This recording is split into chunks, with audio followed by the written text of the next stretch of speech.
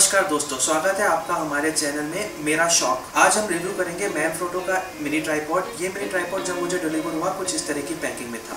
इस mini tripod की back side की पैकिंग की अगर हम बात करें तो इसमें लिखेगी इस ट्राईपॉड की कंपेटेबिलिटी ये ट्राईपॉड कंपेटेबल है एक कॉम्पैक्ट कैमरा से, एक D S L R with kit lens से, या फिर स्मार्टफ़ोन क्लैप के साथ। अगर हम इसकी फ्रंट साइड पैकिंग की बात करें तो इस पर दिख जाती है हमें कुछ इमेजेस जो हमें बताती है, इसका border three sixty degree rotation तो आइए समय ना वेस्ट करते हुए सीधे चलते हैं इसकी अनबॉक्सिंग के लिए तो आइए दोस्तों, हम इस ट्राईपॉड को अनबॉक्स करते हैं। पैकिंग निकालते ही सबसे पहले हमें मिलता है एक पैम्पलेट जो कि एक कार्डबोर्ड के आसपास अच्छी तरीके से रैप्ड है। अगर पैम्पलेट को गौर से देखा जाए तो वो कुछ इस तरीके से दिखाई देता है।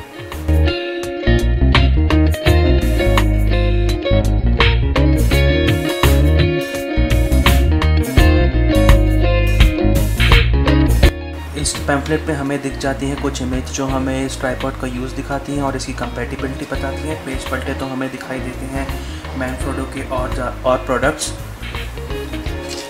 और दूसरे साइड पे पेज पलटे तो हमें यहाँ पे मिल जाती हैं कुछ इंस्ट्रक्शंस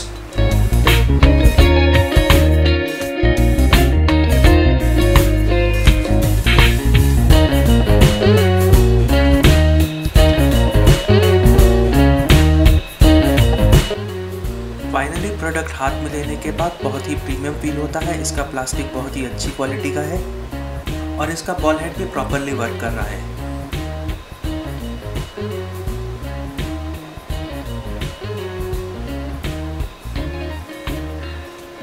मैं आपको इसके लेग्स खोल के दिखा देता हूँ।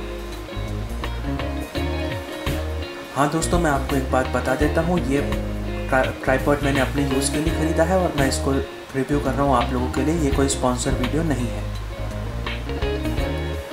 ये इसके तीनों साइड का लेग एक लेग पे आपको मैन फ़ोटो का ब्रांडिंग देखने को मिल जाती है और एक ये नॉब दिया है अपने बॉल हेड को सेट करने के लिए। किसी भी डायरेक्शन में सेट करके अगर आप नॉब छोड़ते हैं तो वो उसी डायरेक्शन में रुक जाता है। अभी तक तो इसकी क्वालिटी काफ़ी अच्छी और प्रीमियम फील हो रही है। लेग्स खोलने के बाद भी काफ़ी स्टेबल प्रोडक्ट है। आइए इसका ड्यूरेबिलिटी टेस्ट करते हैं।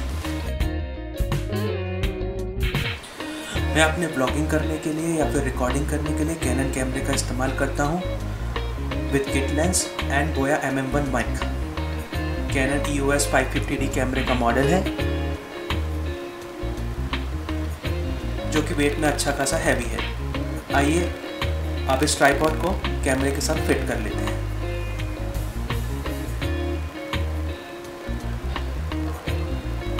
अब ये ट्राईपॉड कैमरे के साथ अच्छी तरीके से फिट हो गया है। और हमारा वॉट ब्लॉगिंग सेटअप तैयार है। ब्लॉगिंग सेटअप कुछ इस तरीके का दिखाई देता है। देखने में काफ़ी अच्छा लग रहा है और ग्रिप भी काफ़ी अच्छी मिल रही है। लॉन्ग टाइम यूज़ के लिए काफ़ी अच्छा प्रोडक्ट लग रहा है।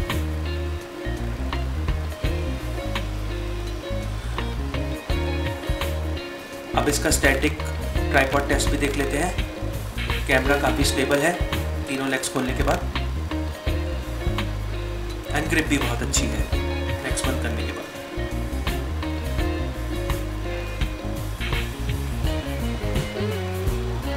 आइए अब एक बार इसका बॉल हेड टेस्ट भी कर लेते हैं कि वो कैमरे का लोड ले सकता है या नहीं। उसके लिए मैं अपना रिकॉर्डिंग कैमरा साइड पर रख देता हूँ। अब मैं अपने एसएलआर को एकदम पीछे की तरफ़ मूव करने वाला हूँ। इस समय मेरा एस एकदम पीछे की तरफ़ इंक्लाइन है। काफ़ी स्टेटिक है। किधर से भी वो हिल नहीं रहा है और कोई गिरने के चांस नहीं है। अब मैं इसको आगे की तरफ़ मूव कर रहा हूँ। नहीं, आगे की तरफ़ मूव करने के बाद कैमरा नीचे की तरफ़ गिर जाता है। क्योंकि उस कैमरे का वेट काफ़ी ज़्यादा है। लेफ़्ट और साइड मूव करने में मुझे कोई प्रॉब्लम नहीं आ रही है। मुझे प्रोडक्ट काफ़ी अच्छा लगा है अपने रेट के हिसाब से। ये एक अच्छा खासा सेटअप है जो इसने होल्ड करके रखा है।